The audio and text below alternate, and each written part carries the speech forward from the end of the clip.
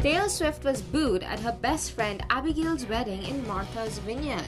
The singer was the bridesmaid, and fans waited in the pouring rain in order to get a glimpse of the singer.